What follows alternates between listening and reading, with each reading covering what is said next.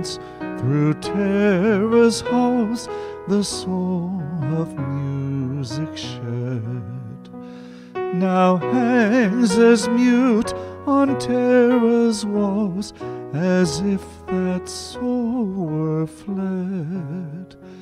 So sleeps the pride of former days, so glory's thrill is o'er, and hearts that once beat high for praise now feel that pulse no more.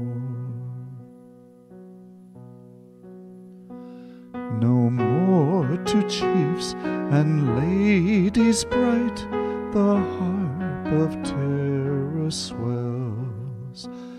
The chord alone that breaks at night. Its tale of ruin tells.